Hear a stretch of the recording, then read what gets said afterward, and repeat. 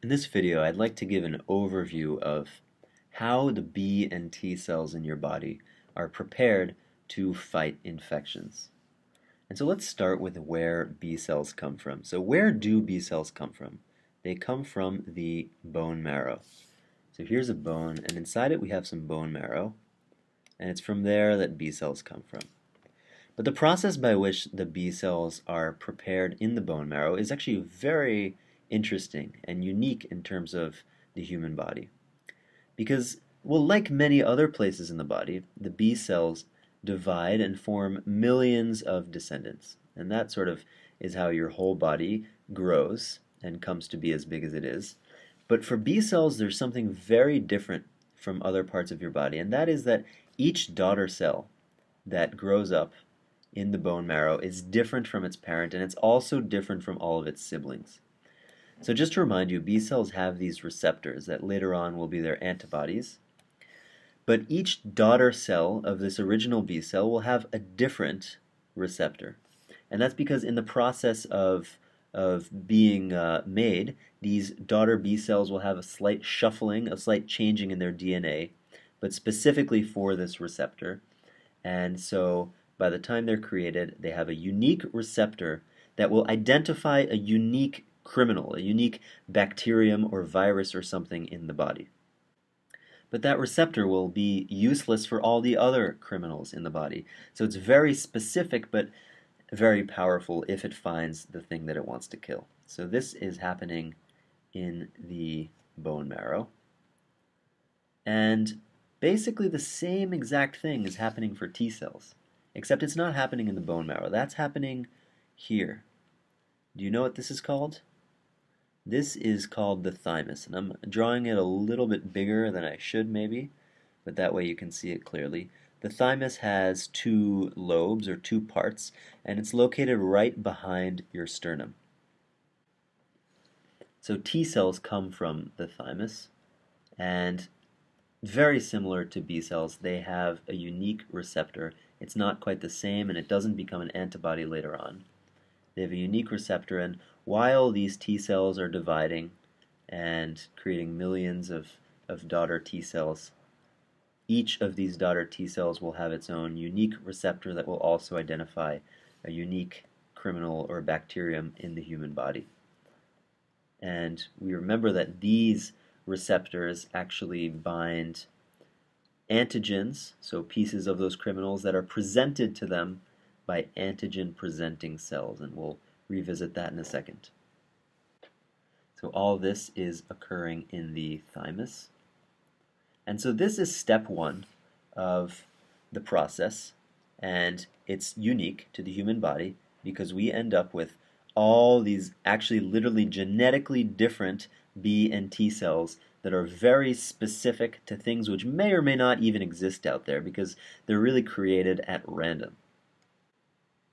Now the next thing that happens is that these B cells and T cells, once they're ready, are going to migrate to a lymph node. And you have lymph nodes all over your body, about 600 of them. But let's say that they go to one here in your armpit.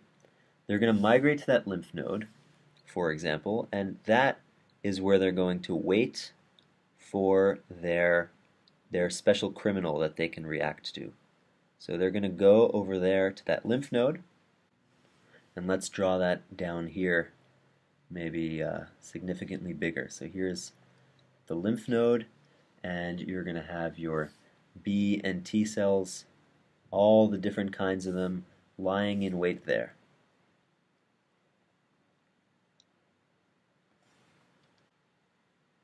And they have their special receptors. Each one is specific to something else.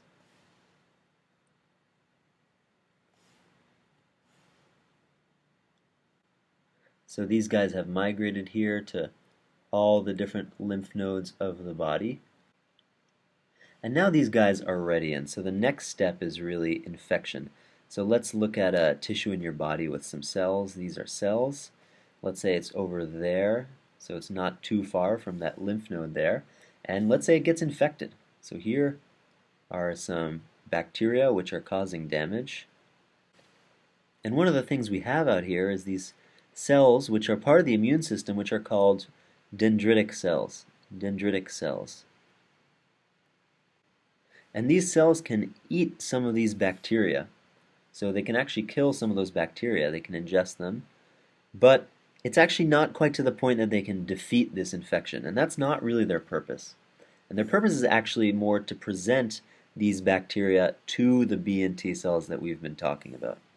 And so the way that they do that is that they come here into these lymphatic vessels, which start here in the tissue, and they go up to the lymph node where they're going to present these bacteria to these cells. And at the same time, some of the bacteria might also get swept in there and might go into the lymph node. And so you get some of them out here. You get some bacteria and maybe just some pieces of bacteria that got broken down. And you also have your dendritic cells here, which are antigen presenting cells, which means that they have this protein that we've talked about called MHC, MHC, on which they present pieces of those bacteria that they have ingested. Now these T cells here are unable to identify these bacteria when they're just freely floating. They need this antigen presenting cell to show this piece of bacteria to them. And only the T cells which can recognize this very specific pathogen are going to see it and bind to it and react to it. So in this case, it's this guy. He's going to bind to that little piece and recognize that his invader, the one guy that he's been created to kill, is somewhere in the body. Meanwhile, these B cells are made to react directly to these bacteria without this antigen presenting cell.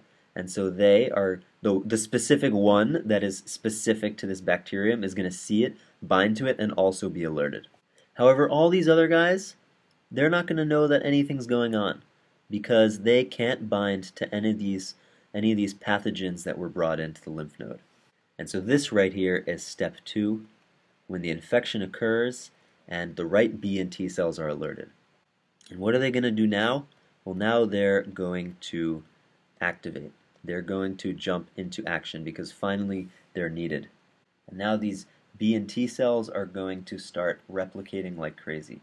So here are the two the two lucky winners who got selected. And they're going to say, well, now that we know that we are useful for fighting this infection, we better replicate like crazy because right now there's only two of us and that's not nearly enough.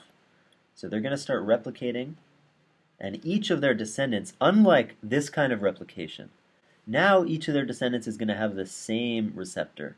It's going to have the same receptor. If it had a different receptor, this whole process would be useless because it wouldn't be able to fight the specific infection that we've just identified.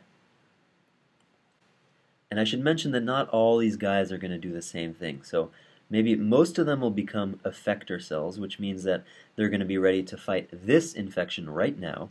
But some of them are going to become memory cells, which means that they're not going to actually fight right now. They're going to wait until the next time that this pathogen comes around. And the reason why we create these guys is because if we get this bacteria once, there's a high chance that we're going to get it again. Because really, you create billions and billions of these different receptors, but only a very small subset of them will actually end up being pathogens that you see. And so this is step three of our process, which has finally resulted in an army of B and T cells ready to fight this specific invader. And so that's what they're going to do now. The B cells are going to pump out antibodies to, to attack this bacterium, and the T cells, some of them are going to stay in the lymph node, and some of them are going to travel out to this site to join the battle. And so this whole process can actually be called clonal selection. Clonal selection, which is a name for basically for the theory of this process when it first came out. So this is clonal selection. And the reason it's called clonal selection is because you're going to select the B and T cells that you need, and then you're going to start cloning them like crazy into this army.